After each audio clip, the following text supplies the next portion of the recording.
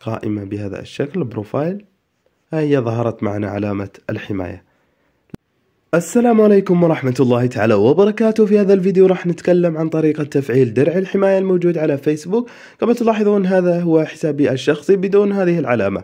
كل ما علينا هو تحميل هذا التطبيق ثم الدخول إليه ثم التسجيل فيه حتى يتفعل معنا درع الحماية.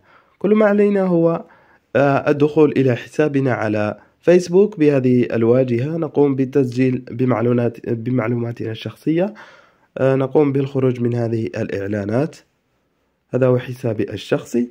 نضغط على Tools. هنا Tools. نتأكد من أن حسابنا آه، مسجل بهذا الشكل. نضغط على Tools.